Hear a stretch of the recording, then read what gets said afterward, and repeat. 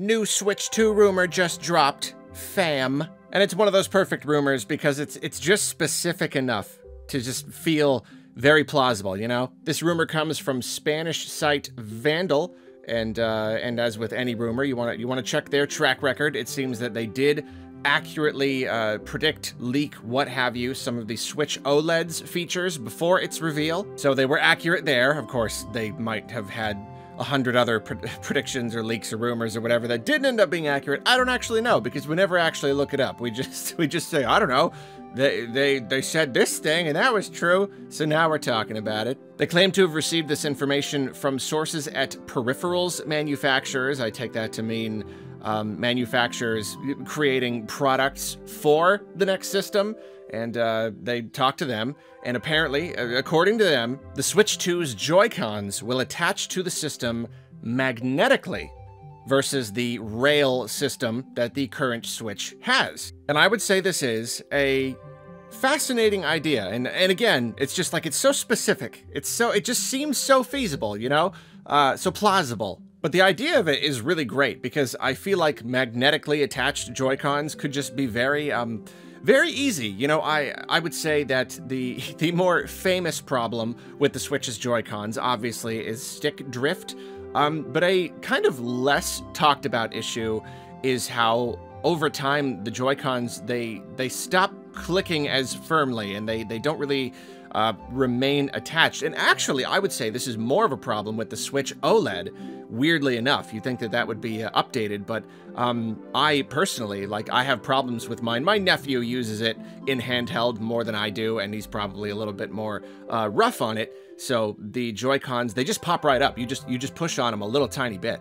Whatever little thing is supposed to keep them in place has just worn off. But I've actually heard this from other people as well and um, and that's the thing is like he doesn't even really pop off the Joy Cons that much, and yet somehow that is just worn off. And other people have said the same thing. The Switch OLED specifically, the Joy Cons just kind of they just come off. Now it barely takes any pushing at all for mine to just pop right off. And it's not a huge problem. It's not as big of a problem as uh, stick drift or whatever, but it's still a thing.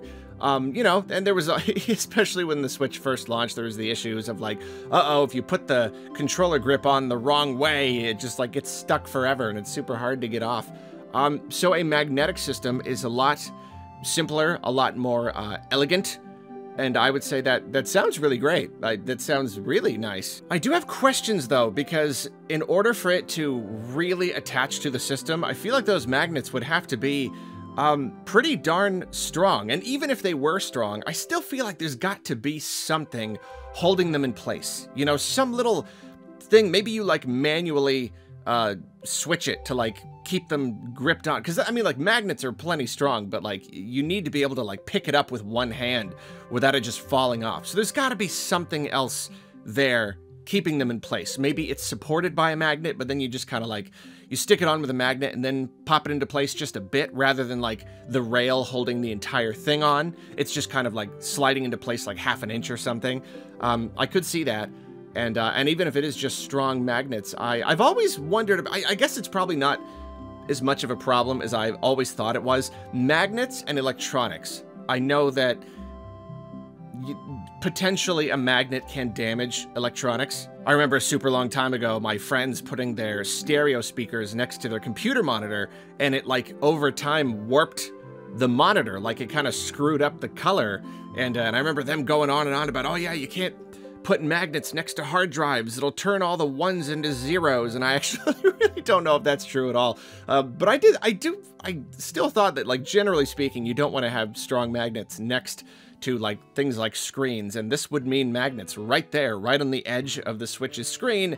Um, but I don't know if they're doing it, then that it must just mean that that's not as much of a problem as I always imagined it was all these years. I'm always like putting stuff in my backpack. I'm like, oh no, I can't put the I can't put this magnet magnetic thing next to the screen. It's gonna break it.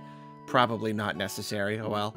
So yeah, I, I think that's a great idea. That sounds really fun. Uh, the, the Joy-Cons themselves were already like just a really fun, just very, it's just very tactile. It's feely, just like sliding them on and clicking them and taking them off. And it was really cool. And, uh, you know, adding a magnetic system could be kind of the next step to make the idea feel kind of cool again. Um, Uh, of course, it is worth noting that if this is the case, then that means old Joy-Cons will not be forwards compatible with the new system.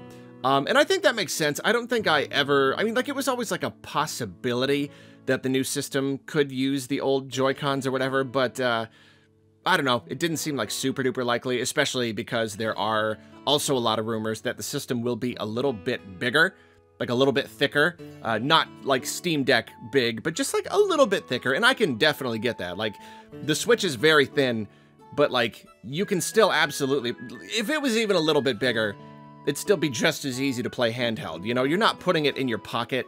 So like you can add some thickness on there, make a little bit of extra room for the, the more powerful hardware. Um, I think that is very, it's another rumor that's just like, yeah, that, that makes a lot of sense. And if that's the case, then that right there is a reason why your old Joy-Cons wouldn't work on them anyway.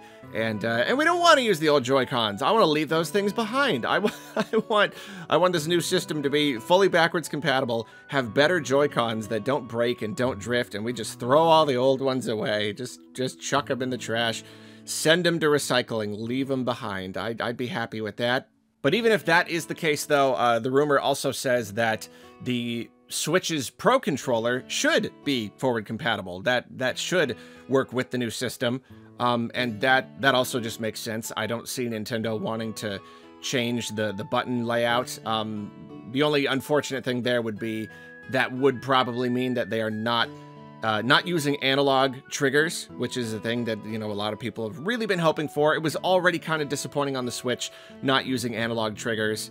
Um, but if you can use the Pro Controller with Switch 2 games, then that kind of suggests that it's still going to be digital triggers, which I don't really understand why. You can have analog triggers and still have a small form factor. I really don't know why Nintendo is being such a stick in the mud about this. Um, kind of annoying, but I don't know. Uh, maybe that isn't what that means. Uh, who knows? So that's it. That's that's the rumor. Magnetic Joy-Cons on Switch 2. I am very glad that I have an outlet now for addressing individual rumors because I've always like really wanted to talk about them. But like, you know, you need something pretty darn substantial to make like a whole video on the main channel about it, but now I can just kind of whatever as they come. We'll we'll just we'll talk about them. Especially because if it's true that the system was delayed into next year, this is all we've got.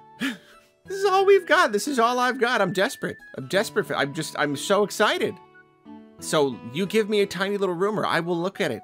I will look at it and I will think about it and I will talk about it because that, that's, that's all I got. That's all we got. That's, that's, that's how I cope. That's how I cope with the waiting. If tomorrow there is a rumor about what font the UI is going to use, I'll be there. We'll talk about it. Rumor has it that a title from the Super Mario Brothers intellectual property will release within the first three years of launch. I'll be there. There will be there will be a video about that. Okay, see you later. Bye.